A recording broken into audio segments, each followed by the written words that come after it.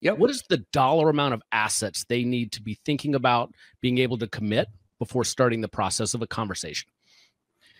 Well, I mean, there's different degrees of that, and and so I'll tell you the bare minimum. So the bare minimum, because all ETFs have to be approved by our trust. So we have a, a, our own trust, we have our independent trustees, and the independent trustees are technically the fiduciary to the trust, and so we have to pitch them to allow this RIA or advisor to run an ETF.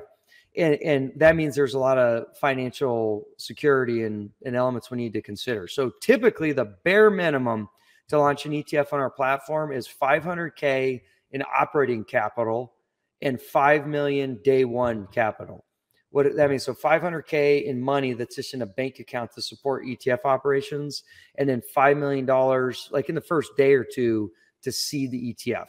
That's bare minimum, right? You don't want bare minimum. We as you recommend that you have at least $25 million day one preferably $50 million day one, because now you're already past break even or you're very close, depending on the situation. And they don't have to have the 500K operating capital because you're not burning any operating capital. And, so that'd be a preferred route if you can get to that 25, 35, 45 type range right out the gate.